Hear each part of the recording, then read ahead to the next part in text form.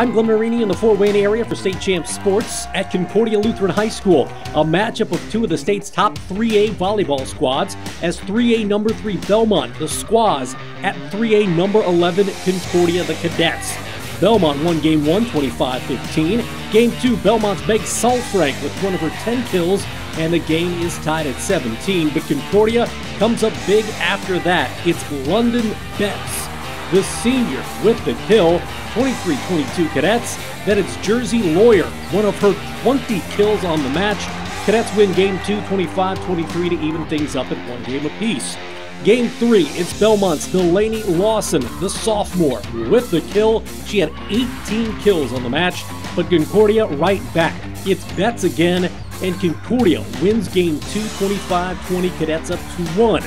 Game 4, Cadets looking to close it out as Betts drops in a beautiful ace, but it wouldn't be enough.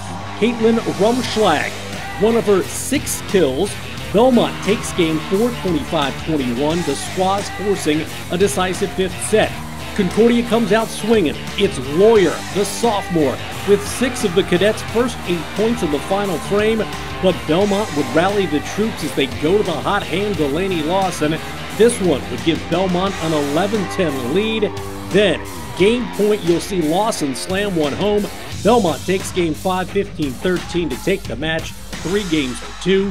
Here's Delaney Lawson and Meg Sulfrank. Oh, this means so much. I mean, it means a lot that we won, and it, going on, we're going to fight and win. Um, just playing as a team and understanding that as a team we need to fight together, and just playing as a team is the main thing in the priority. I just say staying hype. I mean, everybody just having a lot of energy, staying into it. Definitely was being up and being like into it, and just energy was huge.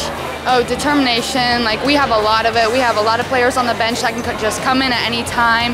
Just a lot of being able to be there in the moment, play, big deal.